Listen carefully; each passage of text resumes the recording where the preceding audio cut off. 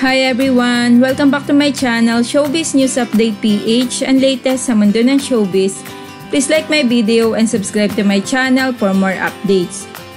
Hiniram bilang number 1 sa 100 sexiest men in the Philippines ngayong 2019 ang pambansang Bay ng Star Mometers online poll. Si Alden Richards ang nanalo sa ginawang butuhan online. Nakakuha si Alden ng 56.9% of the votes Samantalang, ang pumangalawa sa kanya ay nakakuha ng 11.91% votes at nakuha ito ni Daniel Padilla. Pasok din sa top 5 sina Enrique Hill, pang-apat si Dingdong Dantes at pang-lima si James Reid. Ito nga ang pang-dalawang taon ng pambansang Bay na hiranging number 1 sexiest man sa Pilipinas.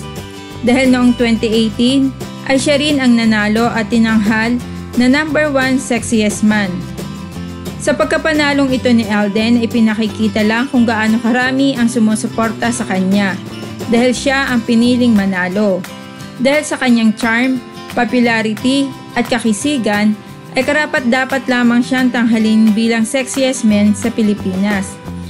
Isa naman itong patunay sa kasikatan ng pambansang Bay.